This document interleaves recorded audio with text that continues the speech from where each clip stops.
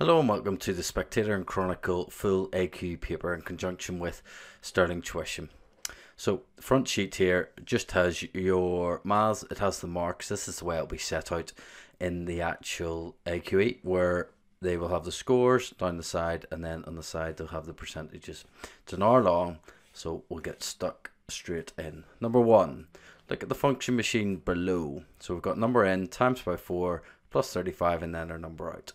So we need to put in the number in, which is 0.5, and then times that by 4. So 0.5 times by 4. So 0.5 is a half effectively, so 4 halves makes 2. And then plus 35, the number that will come out will be 37. Now we've got the number that's come out here, 59. So we need to put it at out and we need to go back through doing the opposite of everything, the inverse. And then we will get the number that goes in. So 59 take away 35 first. So 59 minus our 35 leaves us with 24. So we're 24 here. And then 24 divided by 4 will leave us with 6. So 37 and 6 to get the mark there. Number 2. Look at the four statements below. Tick to show whether each statement is true or false. So we've got an isosceles triangle has two angles of the same size. Yep, that's true.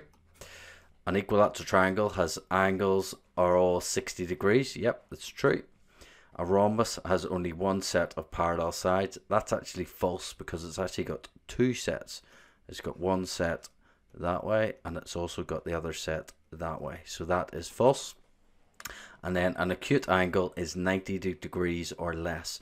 Now this is a sneaky one on purpose because an acute angle cannot be 90 degrees because that's a right angle. Okay, so this one is in fact false because it's not 90 degrees or less. If it said here less than 90 degrees, it'd be true, but it says 90 degrees or less. So 90 degrees is a right angle, so that would be false. Number three, a drawer contains 19 pairs of blue socks and 19 individual red socks. How many socks are in the drawer altogether? So 19 pairs. So in one pair, you get two socks. That's important to remember. So we need to double this up first because in one pair there's two socks and 19 pairs we'll need to do 2 times 19 which is 38 socks. Okay, and then you've got 19 individual. Individual just means one. So we'll need to do 38 added to the 19 and that will give us the total amount of socks altogether. So 8 add 9 gives us the 17. 3 add 1 add 1 gives me my 5. So it'll be 57 socks in total. Now this next question looks a little tricky. It takes up the whole page, but it says, look at the diagram below. A pentagon and a dotted line are drawn in the grid. So I'm going to move it up a little bit further so we can see the other bits. Okay, so pentagon above, uh, pentagon shown above is reflected in the dotted line. One of the three pentagons below is the correct reflection. Draw a circle around the correct reflection. So if this here pentagon was reflected along this mirror line, which one of these would be the correct reflection. Now, if you look at this first one, it's not the correct reflection because it actually goes across 3 and down 2 here, whereas this one only goes across 2 and down 1. So it's not that one there. Now, it's between one of these last two. So I'm just going to move it up a bit further so we can see. So if we look here, we're trying to get everything matched up. So this is one away. So if I count in here, I've got one, two, three, four away. This is one, two, three, four ways. So those points match up actually. Now this is one, two, three, four, five, six away. So this needs to be six. One, two, three, four, five. That's actually only five away. So this one here isn't the reflection either. And then just to show you, so we've got this point here, which is one, two, three, four away. One, oh, two, three, four away. This here point, one, two, three, four, five, six away. One, two, three, four, five, six away. That matches. And then this one here is the two back. So this is the one that would need to be circled because this is the correct reflection. Now if you circled the whole thing or if you circled this one, that is fine. But that comes up every now and in the in the AQ and it's important to be able to understand how to answer it. Okay. Number five. A map has the following scale, So 2 centimeters equals 7 kilometers. Two towns are 9 centimeters apart on the map. What is the actual distance between the towns? Okay, so here we've got 2 centimeters equals 7 kilometers. Put down what the ratio is. Now we need to work out what it would be if it was 9 centimeters. So 9 centimeters is here. So basically what we need to do is we need to turn 2 centimeters into 9 centimeters. So what we're going to have to do is turn it into 1 centimeter first. So 1 centimeter equals 3.5 kilometers. Because I halved this, I divided this by 2, which means I have to divide this by 2. Now, I can get from 1 to 9 really easily. All I do is I times by 9, which is what I'm going to have to do to this side as well to find out the ratio of the comparison. So it's 3.5 times by 9. So 5 times 9 is 45, and then 5 times 3 is 27. Add it to the 4 is 31, not forgetting our one decimal place, one decimal place. So this would actually be 31.5 kilometers.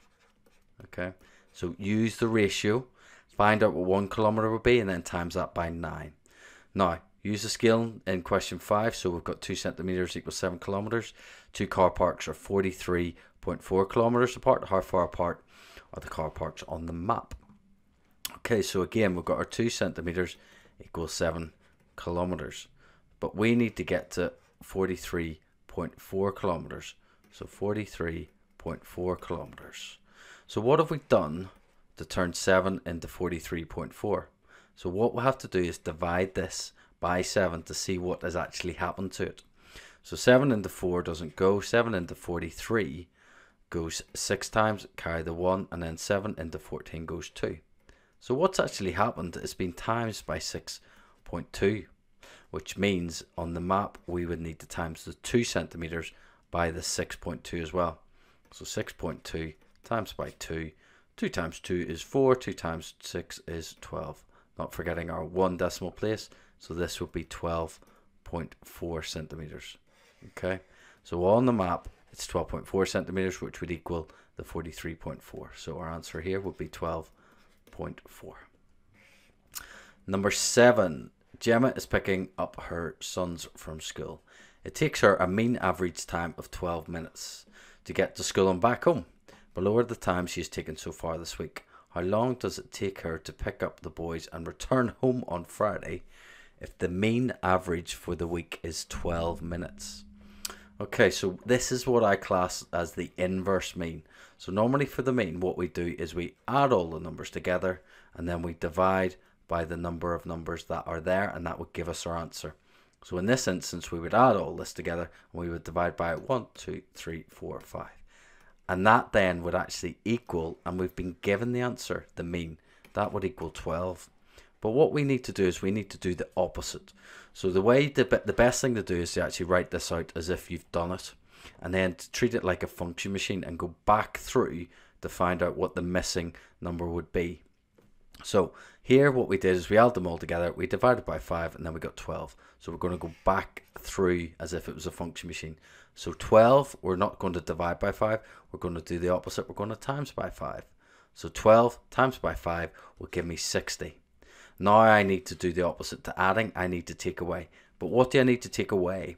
I basically need to take away all of these from the 60 and then that'll leave us with the missing one. So, well, so we'll add together what we've got. So the 13 added to 11 is 24. The 13 added to the 12 is 25. If I add those two together, it gives me 49. And I need to subtract that because I added them all together. Need to do the opposite. So I'm subtracting 49 from the 60. And that'll leave us with the missing number. So 0 take away 9 we cannot do. Borrow 10 take away 9 is 1. 5 take away 4 is 1. So the missing number here will be 11. So treat it like a function machine. You've added and divided and it's giving the answer of 12. So you need to times by 5 and then take away and that'll leave you with the original number that was missing at the start. So 11 will be the answer there. And then look again at the times in question 7. So we've got all the times including Fridays what is the range of the times? So the range is just the biggest number, take away the smallest number. So it's 13, take away 11, which would equal 2. So that there is something I think that's going to come up because lots of people know how to add and divide, whereas doing the reverse is a skill that you definitely need to practice. So we've got our first poem. So, happiness. There's just no accounting for happiness, or the way it turns up like a prodigal son, who comes back to the dust at your feet, having squandered a fortune far away. How, and how can you not forgive? You make a feast in honour of what was lost, and take from its place the finest garment, which you saved for an occasion you could not imagine, and you weep night and day, to know that you were not abandoned, that happiness saved its most extreme form for you alone. No, happiness is the uncle you never knew about, who flies swiftly a single engine plane onto the grassy landing strip, hitchhikes, hitchhikes into town, and inquires at every door until he finds you asleep mid afternoon, as you so often are during the unmerciful hours of your despair. It comes to the lover, to the dog chewing a sock, to the pusher, to the basket maker, and to the clerk stacking cans of carrots in the night. It even comes to the boulder in the perpetual shade of pine barrens, to rain falling on the open sea, to the wine glass weary of holding wine. So that was written by Jane Kenyon. So we've got our number uh, nine. So look at verse one of the poem. So it'll direct you to where to look. We don't need to look anywhere apart from verse one. Find the word in verse one of the poem that means wasted. So with this, it's important to make sure that we've got the right verses. So this is one, two, three, four, and five. So verse one, a word that means wasted. And the word you're actually looking for is squandered. That means to waste as well. So squandered. So number 10, tick the statement below that best describes the poem. Happiness is a poem about forgiving to achieve happiness. It doesn't really talk about that. All the places happiness can turn up and never giving up on happiness. It's actually the second one. All the places it can turn up because it talks about it can come to the boulder, it can come to the wine glass, it can come to all those places. And it's important that we've actually read the poem because that gives us an indication of how we can answer that. If you're not sure on these, never leave these blank. Always give it a tick. Okay. Number 11. Look at verse 5. So we're directed straight to verse 5 of the poem. Which word in verse 5 of the poem means never ending? Okay, so first 5, never ending. So the last one here. And it's actually perpetual. Perpetual means to never end. So it goes on forever and ever and ever. Perpetual. Okay. Number 12 comes up in every single AQ paper, this little box. So the words dust, make, grassy, and swiftly are used in the poem. Tick the correct box to show whether each word is a noun, verb, adverb, or adjective. So if you're not sure on one, leave it and do this by process of elimination. So we've got our ly, which always indicates nearly, always I should say, adverb. Okay. Then we've got our grassy. I'm going to put that as our adjective. And then make is a verb, it's something that you do. And finally, dust in this instance is a noun. Only put one tick in each comma. Okay. Number 13. Look at the two lines below taken from verse 2.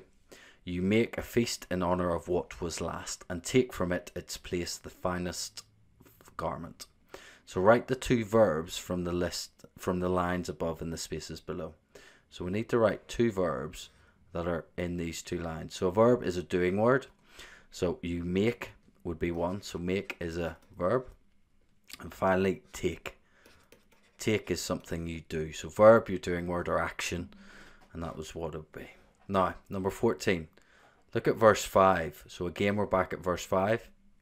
Name three things that happiness comes to. Write the names of each in the spaces below. So three things that happiness comes to in verse 5. It even comes to the boulder. So happiness even comes to the boulder. So that's the first one. In the perpetual shade of the pine barrens. To rain. There you go. So it comes to the rain as well. On the open sea. And finally to the wine glass. Weary of holding wine. So boulder, rain, and wine glass is the three words that happiness comes to. So boulder, rain, and the wine glass. Okay, number 15. In the poem, the word carrots is used. The word carrots is the plural of carrot. Write the plural of each of the words below in the space provided. Be careful with your spelling. So with this one, you have to get your spelling right. If it ever says be careful with your spelling and you get the spelling wrong, you won't get the mark. So just be careful. So dust. The easiest way to do this is I always write one and two. So one is plur is the singular form where there's only one, obviously, and then plural is two or more. So one dust, two dust. This just stays the same. It does not two dusts. One sea, two seas. One foot, two feet. One garment, two garments. So garment is just something that you wear, basically. So that's an easy way to do it. One, and then say this in the sentence with one and two, and then that'll help you get that. So back to Maz in number 16. A carton of milk costs 68p. A loaf of bread costs £1.30. Ruth has £10.12 to spend on milk and bread. She buys six cartons of milk. What is the largest number of loaves of bread she can now buy? Okay, so one carton of milk costs 68p and she buys six. So we need to find out the cost for the milk first. So 68 times by 6. So 8 times 6 is our 48. Then 6 times 6 is 36. Add 4 gives me 40. So she spends £4 and 8p on the milk. So we need to subtract that from this to see how much money that she's got left to spend on the bread. So let's take away this. 2 take away 8 you cannot do. 12 take away 8 is 4. 0 take away 0 is 0, and then 0 take away nothing we cannot do. 10 take away 4 is R6. So she's got £6 and 4p to spend on bread. Now a loaf of bread, one loaf of bread is £1.30. So we need to see how many 1.30s go into this. Easiest way to do this is just count up 1.30s. So 1.30, 2.60, 3.90, and then add a pound would be four pounds ninety, and then add the thirty p would be five pounds twenty, and then six pounds fifty, which would be too much. So she'll be able to buy one, two, three, four loaves of bread. Number 17. There are 670 pupils in a school. Of these pupils, 80% are female. How many are male? So, we are not trying to find 80% here. You could do 80% and take it away, but there's so much time wasted doing that. We want to work out the opposite percentage because we're looking for the males. So the opposite percentage would be that we are actually looking for 20% because 20% of the school are males. And we all know, hopefully, that 20% is the same as 2 tenths or 1 fifth. So with this, all you're basically doing is you're dividing by 5 or you're dividing by 10 and times them by 2.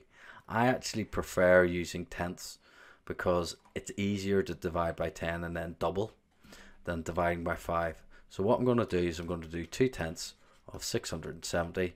So divide by the bottom times by the top. So 670 divided by 10 is 67. And then times that by 2 is just double this, which would be 134. Now, if you divided it by 5, that's absolutely fine as well. You'd still get the same answer of 134. But with this, always try to get the opposite percentage. Instead of doing the 80% and then taking away, you're doing two things there. Whereas here, I'm only doing one thing. Save you time, save you less calculations and errors as well. 18. Charlotte is facing northeast. She turns 135 degrees anti-clockwise. In which direction is she now facing? For this, draw out the compass points. It makes life so much easier. So we've got our north, south, east west. Never eat shredded wheat. Whatever way you do it, naughty elephant squirt water. But make sure you put everything in because it directs your brain towards the answer. Okay, so we're at northeast. So I circle northeast. I'm going 135 degrees anti-clockwise. So clockwise is the way the clock goes. Anti-clockwise is the other way. So I'm going this way. So 135 degrees this is basically 45 less than 180. So 180 would be all the way around the southwest, but it's actually one before that. Or I could go 45, 45, 45, which is 135. Whatever way you do it, you need to end up at west. And that will be your answer for number 18. But draw this. Makes it so much easier for you. 19. Spencer thinks of a number. He subtracts 98 from it and then he divides it by 5. His answer is 51. What number did Spencer think of? So this is our function machine but in word form effectively. We need to just go back through the story or the words and do the opposite until we end up back at the number that Spencer started with. So start at 51. We're going back through, divide by 5, so we will do the opposite. We will times by 5. So 51 times 5 gives me 255. And then we keep going back through. This is subtract 98, so we actually need to add 98. So we'll just add 98. 5 add 8, it gives me my 13. 9 add 1 is 10, add 5 is 15. And then 2 add 1 is 3. So my answer here would be 353. So just treat it like a story, going back through until you end up back with the number that Spencer started with. Number 20, look at the numbers below, put them in the correct areas of the Venn diagram. So you've got cube numbers, square number, triangular number, and then obviously the intersections are where that might be both. So here you would have triangular and cubed, for example. Now, what the easiest thing I think to do for this is, we've only got numbers up to 16, so it's not massive. So I'm going to write down the numbers that relate to this and then just not beyond 16 so that then I can just slot them in easily. So cube numbers, you get 1, 8 and 27. I don't even need 27, I just need 1 and 8. Okay, so cube number is, remember, where you times the number by itself. So 1 times 1 times 1 will be 1, 2 times 2 times 2 will be 8 and so on your square numbers. So 1 times 1 is 1, 2 times 2 is 4, 3 times 3 is 9, 4 times 4 is 16. So I've got all the square numbers up to 16. Now triangular numbers, it'll be 1, and then I add 2, and then I add 3, then I add 4, then I add 5, and that's all the triangular numbers that I need. Now it's going to be super easy. So I'm looking at the number 4. I can see it's a square number, and it is nothing else. So it just goes in square numbers. Then I'll go with number 6. I can see it's just a triangular number and nothing else. Number 8, just a cube number. And then 15, it's a triangular number and it is nothing else. So it'll pop in with triangular number. And finally 16, it is just a square number. Okay, now the fact that we've done this now it helps us with 21 as well. Look again at the Venn diagram in question 20. Can you think of a number between 0 and 30 that would go in the middle section of the Venn, the Venn diagram. So we need a number that goes in here. That is a cube number, that is also a square number, that is also a triangular number. And if you notice here, there is one number that you've written in all three of your lists, which is this number here. Number one is a square, it's a cubed, and it's a triangular, which would go in the middle. So your answer would be 1.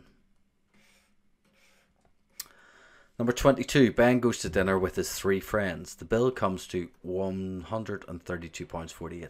They, spill, they split the bill equally. How much do they each pay? Lots of people here automatically assume that they need to divide by 3.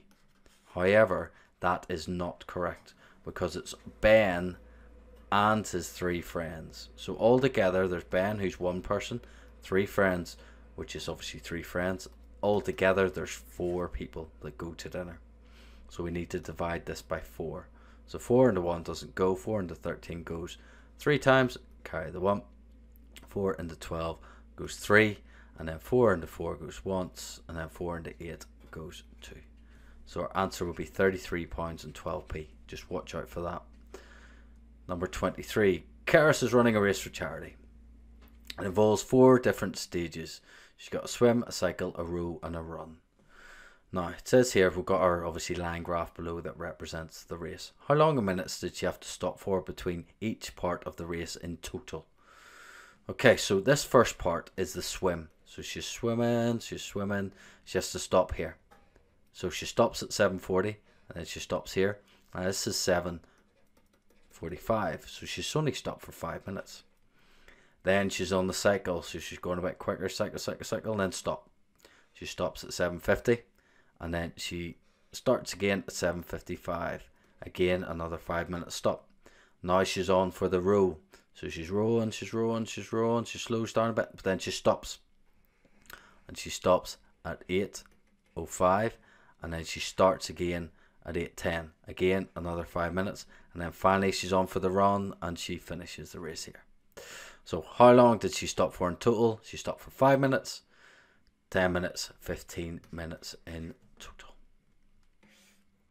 So we're on to the five mistakes text. Now I'm not going to read this because you don't actually need to read it for this. But what you've got to be careful about is if it's a comma or uh, comma or a question mark, make sure you read the sentence before and after to make sure it includes because sometimes the comma sits right in the end of the sentence. And if you don't read the sentence after, you won't know it needs to be a comma. But everything else is just words you're looking for effectively. So each line of the passage is numbered. A word has been used incorrectly. I'm going to stop reading here. As soon as it said a word has been used incorrectly, I know I'm looking for a homophone. Okay, a homophone is the word that uh, sounds the same but means different. And one other thing, I'm actually going to do what's called the bottom up technique. I'm going to start with the bottom number looking because the examiners normally put one of the last two numbers as the answer. So if you go from the bottom up, you'll get to the answer more often than not quicker. So I'm starting with 19, then going to 17. So homophone, start with 19. So I'm looking at 19, expect your check within 14 days of this letter. So that's all fine. Straight up to 17. Of the fare, so I expect a full refund of the fare. This is like the fun fare. The fare she's talking about is this fare. So it's 17. And also point at each word. You're not reading the sentences for understanding. You're just finding words. So with your pencil, point at the words, and it draws your eye to it more to each individual word, and you'll be able to spot if there's a mistake. Now with this, with the pages being on opposite sides of the page, you're just going to read through a spelling error. I don't need to read anymore. I know I'm looking for a spelling error.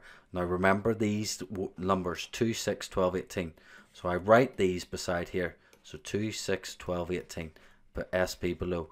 This stops me having to flick backwards and forwards between the pages. Okay, so I'm starting from the bottom and I'm looking up. So 18, spelling error, and anxiety I suffered as a result of your inadequate service I shall. So it's not 18. Back up to 12. Engine that failed. We've found our mistake. This should actually be failed as in AI. Okay. So failed is the answer. So that's line 12. I go down, I take it straight away, I move straight on. Now a question mark is needed instead of a full stop. I stop reading there. I don't need to read anymore. And I remember 3, 8, 14, 16. So 3, 8, 14, 16. So 3, 8, 14, 16, question mark. Again, starting from the bottom, working my way up. So start with 16. I'm enclosing my ticket for the journey. I expect a full refund. And with the question mark, all you're looking for is a full stop. So is this a question? I'm looking for enclosing my ticket for the journey. No, it's not a question. So 14, I go straight to it. Right, there's the full stop. Is this, does this need to be a question mark? So I need to find the start of the sentence actually. Why is it that a company as large as yourself relies on such a, such dated equipment? That why means that this is actually a question all the way through. So I found the full stop, I read to the start of the sentence, and I found my answer. So the answer is 14. Should be 14. Now, commas missing. I don't need to read any more. Commas missing. I remember 4, 9, 10, 15. 4, 9, 10, 15. 4, 9, 10, 15. And it's a comma. Now, comma is always things in a list. Again, I'm looking from the bottom up. So I'm going to start with 15. So it increases your responsibilities for the delay. So that's all fine. I'm looking at 10. This failure of the service, my anxiety was made worse by the lack of information, so that's fine. Notice the way I read to the next line as well, just in case the comma needed to go here, but it doesn't. Now, 9, I was made to feel very distressed, anxious, and scared. This is where a comma goes. Things in a list. So it's line 9, give it our tick, and then move on. So an apostrophe is missing. We do not need to read any more. Missing apostrophe 7, 11, 13, 16. So 7, 11, 13, 16. 7, 11, 13, 16. So apos. Now apostrophe means for contractions like don't. For example, that might be missing. Or an S which shows ownership of something. So again, bottom up, we'll start with 16. And you find it hopefully straight away, I'm needs to be the apostrophe because the A has been taken out.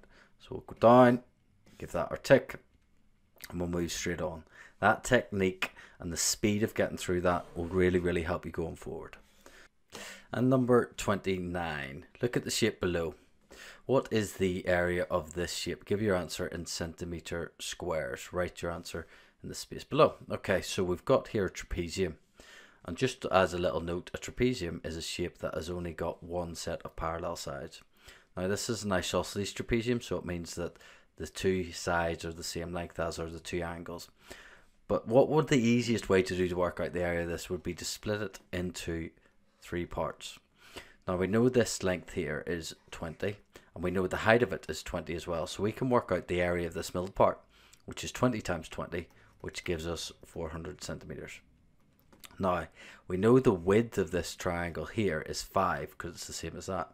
So this is 5 and this is 20. So all we do to work out the area of the triangles, we need to half at some point. I'm going to half here first. do 10 times 5, which gives me 50. And this here triangle here is the same size because it's 5 across by 20 as well. So this one here will also be 20. Oh, sorry, 50. So we've got our 400 centimeter squares, our 50 centimeter squares, and our 50 centimeter squares. Pop them all together, gives you 500 centimeter squares. Number 30. In a shop, Claire buys 5 apples, 11p, 9 bananas, 21p, 8 mangoes, 1.10 how much change will she get from a 20 pound note in the shop? So we need to work out how much all of these cost. So 5 times 11 is 55p. 9 times 21, so just do 9 times 21 quickly, it takes seconds. 1 times 9, 9, 1, 2 times 9 is 18, will be 1.89 And then 8 times 1.10 will be 8 pounds 80. So we'll add all these together, put my 8 pounds 80, 55p, and then 9 at 5 is 14. And then 8 at 8 is 16. Add 1 gives me 17. Add the 5 gives me 22. And then we've got 8 add 2 is 10, add 1 is 11. So she spent 11 pounds 24, which we need to then take away from the 20 pounds because that will give us our change. So 0 take away 4 we cannot do, so we're going to go all the way across uh, and borrow. So 1 cross 9, 1 cross 9. 10 take away 4 is our 6, 9 take away 2 is 7. First decimal point, 9 take away 1 is 8, and then 1 take away nothing, 1 is nothing. So it'll be 8 pounds 76. Number 31. Cooper is playing with some six sided dice. He rolls one of the dice. What is the probability he will roll a 2 or more? So on six sided dice, potentially you could get a 1, a 2, a 3, a 4, a 5, or a 6. So what's the probability you get a 6 or more? So this is going to be out of 6 because there's 6 possible outcomes. So you could get a 2, you get a 3, a 4, a 5, or a 6. So there's 5 of those outcomes that he could potentially get. So it's 5 out of 6. And if you notice here that there's one, two, three, four, five, six sections. So 5 6 of this line will actually be here. Because this will be 1 sixth, 2 6, 3 6, 4 6, and then 5 6. So that's where the arrow would need to be marked. So 5 out of 6, write it as a fraction, then relate that to the probability line. Number 32, on a day the temperature in Greenland is minus 16 degrees and the temperature in Iran is 26 degrees. How much higher is the temperature in Iran than Greenland? Now some of you will know that if one of these is a negative number, then you're just literally adding the two numbers together.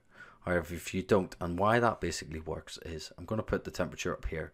So it's 26 degrees in Iran. I'm going to put 0 degrees Celsius here and then minus 16 here. So to find the difference between the two, so what do you add to minus 16 to get to 0? You would add 16. And then what do you add to 16 to get, sorry, 0 to get to 26? You'd add 26. So to get from minus 16 up to 26, you've added 16 and then you've added 26. And that's why that works. So 26 add 16. 6 add 6 is 12. And then, well, 2 add 1 add 1, give me my 4. So the difference between the temperatures would be 42. So that's how much higher it is. Now, look at the cube, look at the nets of the cubes below. Circle all the nets of the cubes that would fold to make a complete cube. So this is tricky in some ways, but if you remember, if you've got four in a row with one either side, and it doesn't matter where on either side, as long as there's one either side, that will always make a cube. And we've actually got two of those because we've got the four in the row, and then we've got one either side here. This here, unfortunately, this wouldn't make a cube because this would be a side, this would be a side, and then event what would end up happening is this would overlap with something, and this here doesn't work either. If you need to practice just looking at the different nets and doing that, it is something that comes up, but definitely get an idea of what works. Also, just on a as a teaching point, steps on a cube always work as well. So this here where it goes like steps, that there would fold to make a complete cube as well. So the two common ones are your steps and the four in a row with one either side. Okay. Number 34. What is 12 a.m. as 24 hour clock time? This catches a lot of people out. So the answer here wouldn't be 2400, but it would actually be 00.00. This is basically when the 24 hour clock starts again. So that would be our answer. And we don't need the AM or PM on this because it's 24 hour clock. Number 35. Look at the four shapes below. What is the total of all the angles in the straight line, quadrilateral, right angle, and the triangle? So straight line's 180 degrees. Quadrilateral, which is four side shape, is 360 degrees. Right angle is 90 degrees, and our triangle will be 180 degrees. So we just need to add all these together. So 180 add 180 will give us 360. I've already got 360 there, so and then the 90. And if I just add all these together, that will give me my answer. So 6 add 6 is 12, add 9 is 21. 3 add 3 is 6, add 2 is 8. So my answer will be 810. Now, number 36, dividing a number by 10 and then multiplying the answer by 100 is the same as tick the correct answer below. Now, this looks tricky, but it's actually really straightforward. So you just write down what you've been given. So you're dividing by 10. I'm just going to write that down. Divide by 10. And then you've got multiply by a 1,000. Again, just write that down. 1,000. Now, all we do is a divide cancels out a times. So what happens is, is I'm going to cancel out the divide by 10, which cancels out one of the multiply by 10s. And all you're left with is this here. And this is basically your answer. So when you've cancelled it out, see what you're left with, and that gives you the answer. So times by 100 is your answer. So multiply the number by 100. Second poem The Soul of a Wild Fox. She embodied the soul of an untamed fox through the facade of her decorous demeanour. Her intrepid brown eyes, secrets revealed.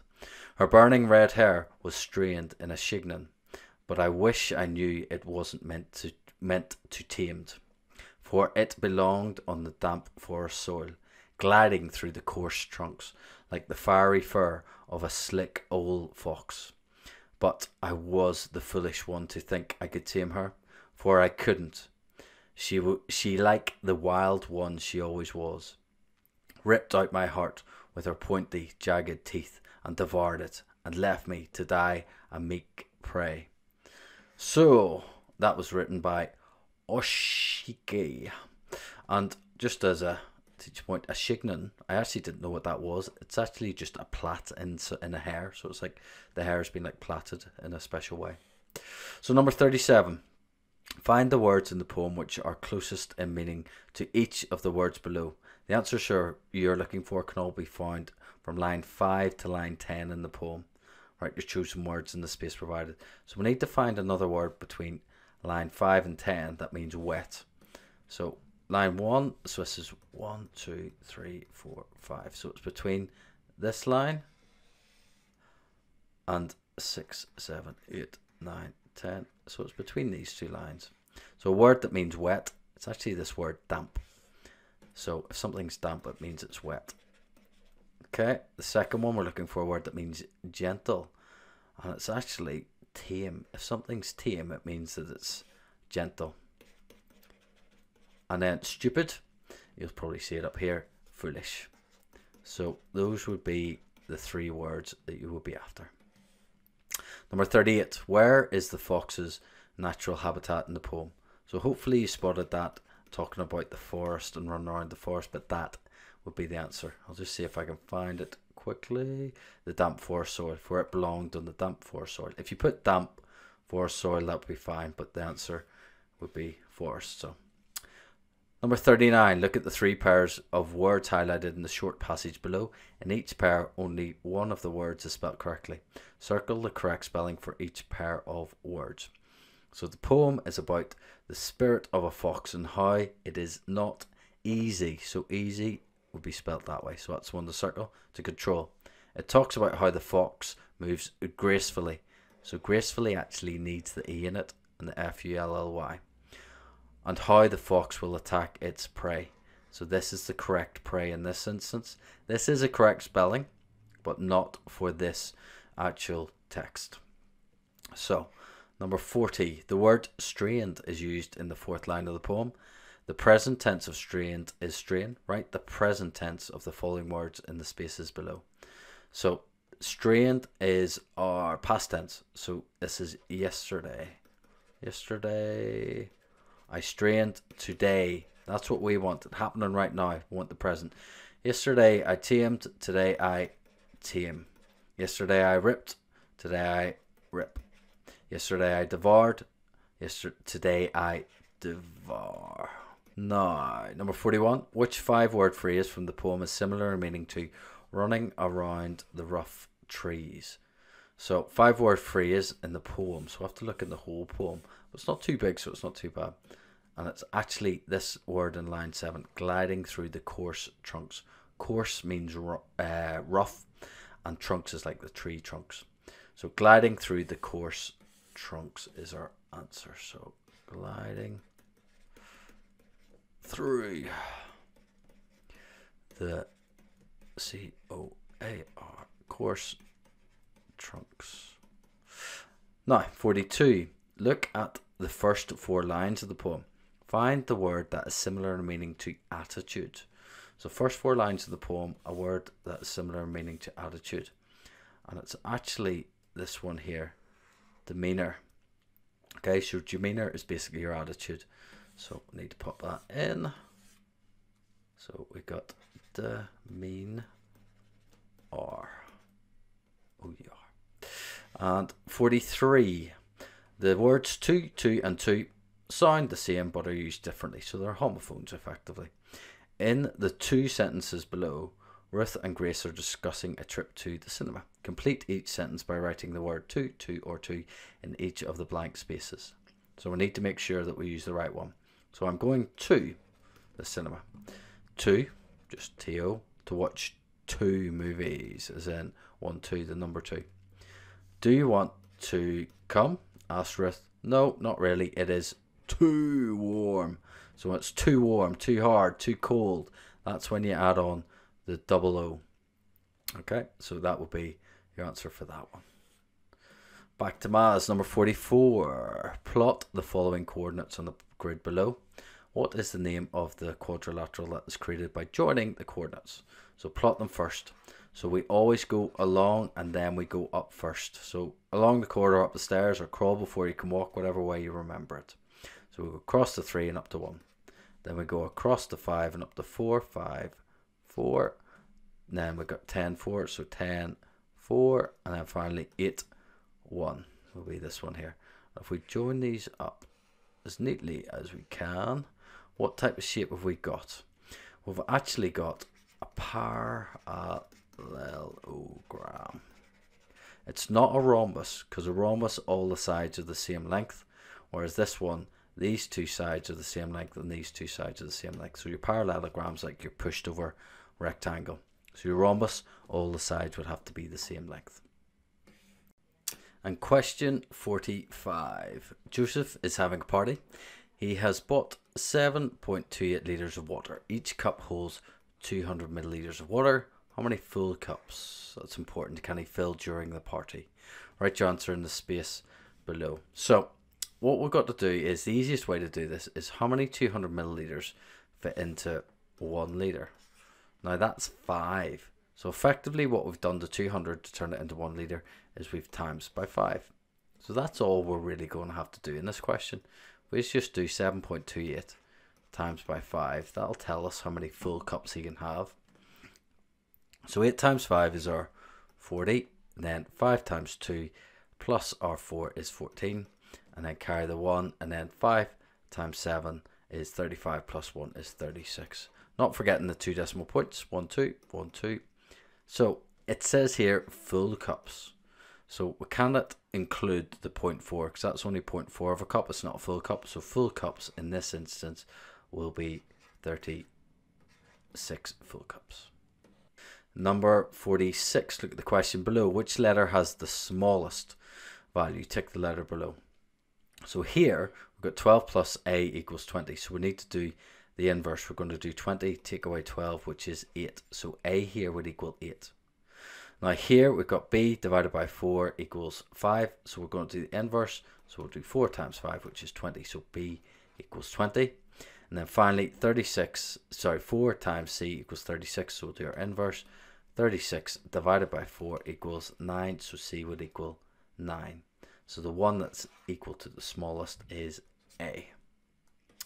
Number 47. A ball is dropped from a height of 364 centimeters. The ball always bounces up to the same height of 4 sevenths of its original height. How high does it bounce on its first bounce?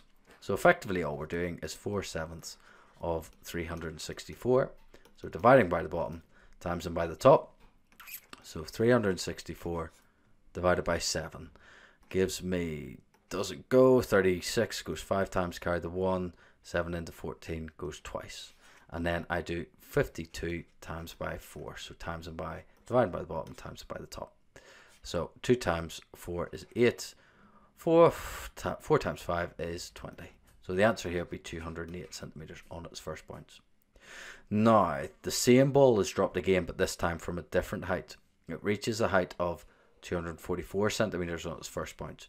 What height was it dropped from? So what we're actually doing here is we're doing the opposite. We need to do the inverse. So instead of this being 4 sevenths of 244, this is actually 4 sevenths equals 244. So we need to use this fact to then find the original height that it was dropped from. And again, I said it before, we need to do the opposite to find out what it will be. So here, we divide it by the bottom and we times by the top. We need to do the opposite, so we're actually going to divide by the top and times by the bottom. So if we divide by the top, what that effectively does is it tells us what 1 seventh is. And then when we've got the what one seventh is, we can times that by seven to give us seven sevenths, which is the whole. So I'll go through that now. So we're going to divide by the top and then times by the bottom. So 244 divided by 4 gives me 61. So what this it means is 61 is equal to 1 seventh. Now we need to times that by 7. And that will give us what 7 sevenths is, which is a whole.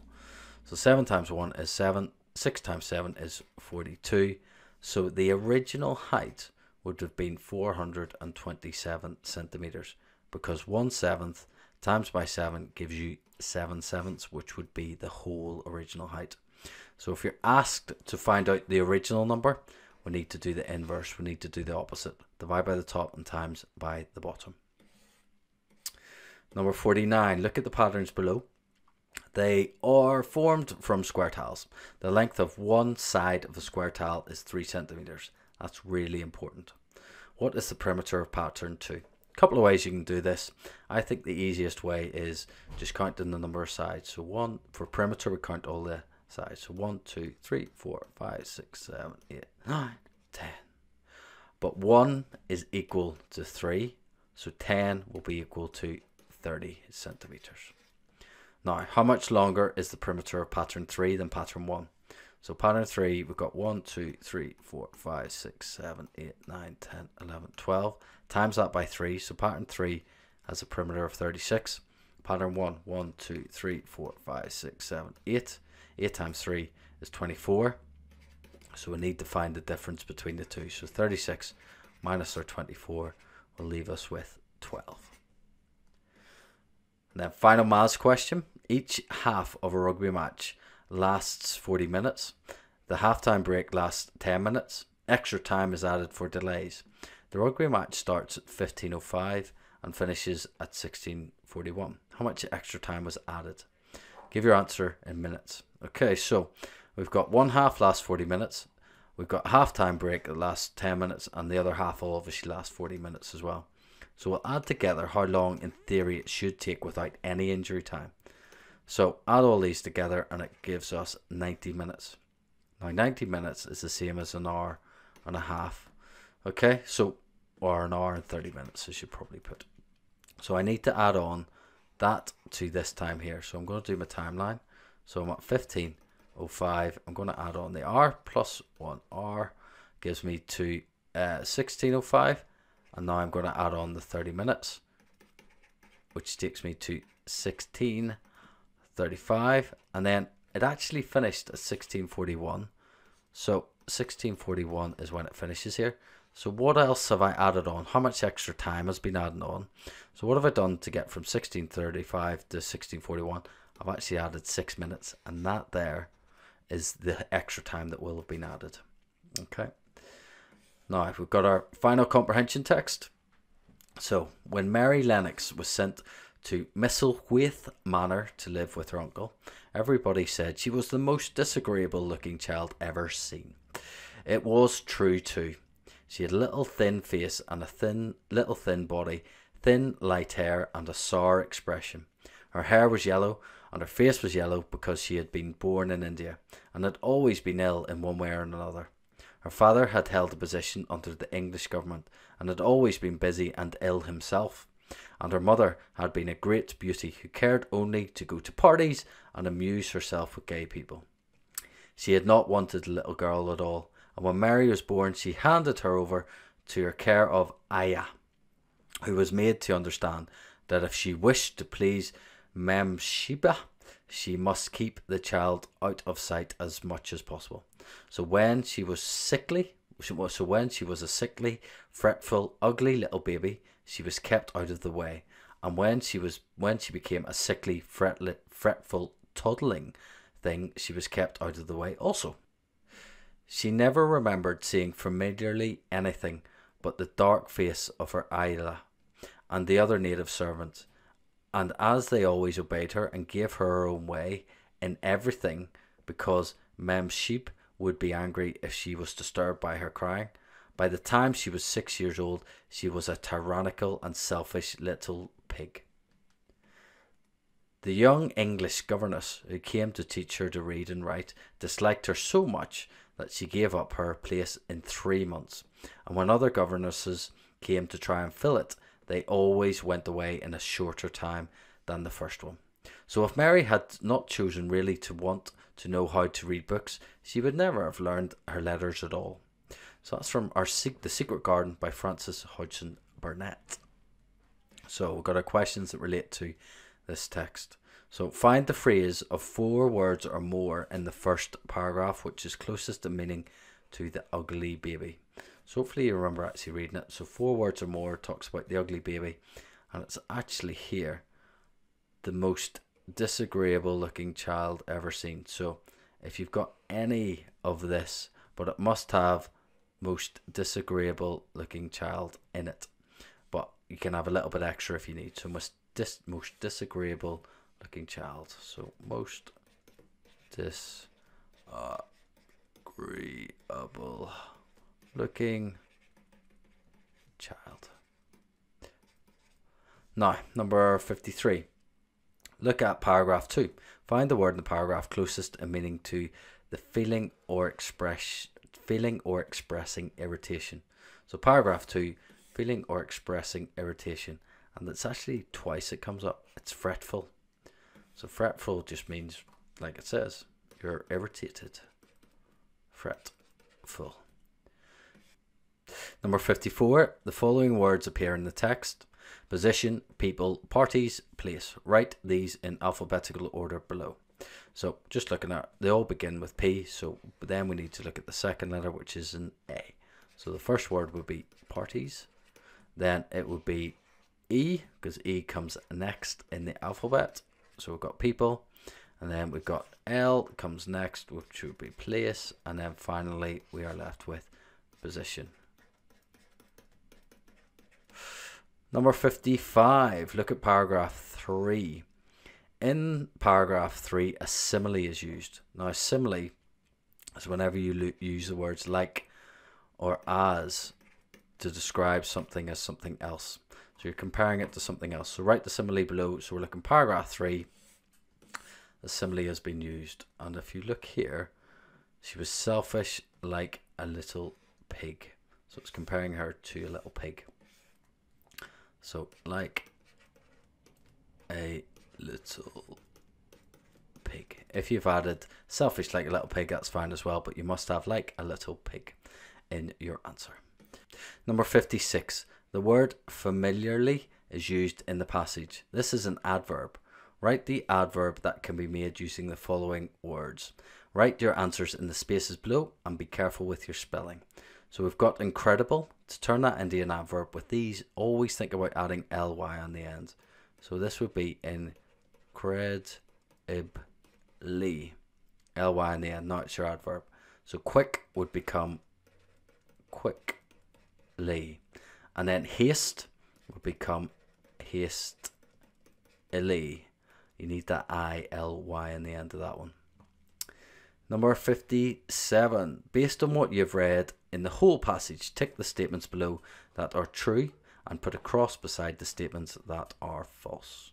So, the young governess, the young English governess gave up teaching Mary after three weeks. That is actually false, so we'll put a cross because it was actually after three months and she gave up. Mary and her father were always sick. Yeah, it talks about them being sick all the time as a youngster. Mary's father worked for the British government. Yes, it talked about that in paragraph one. And Daya didn't look after Mary growing up. That's false. She is actually the only person that really looked after him.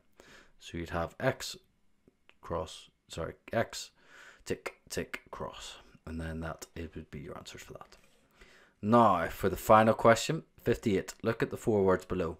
Based on your reading of the passage, which word best describes Mary? So hopefully you've managed to get this from the text. She's not a jolly young girl. She's not scared. She's not angry. She's just very spoilt. And that is the end of the paper.